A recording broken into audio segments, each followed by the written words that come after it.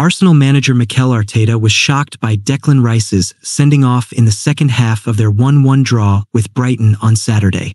Speaking in the post-match press conference, Arteta said, I was amazed because of how inconsistent decisions can be. In the first half, there were two incidents and nothing happened.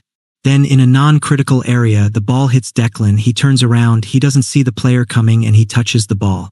By law, the referee can make that call, but then by law, he needs to make the next call, which is red card, so we play 10v10. At this level, it's amazing. Arteta was just like every Arsenal fan disappointed by the fact that the match referee sent off the midfielder on a second yellow card after failing to book Brighton striker Joao Pedro for kicking the ball away in the first half. An issue also highlighted by Bukayo Saka after the match. We just want consistency. Joao Pedro booted the ball halfway across the pitch in the first half and got nothing for it. Declan got the slightest touch and was sent off, decried Saka.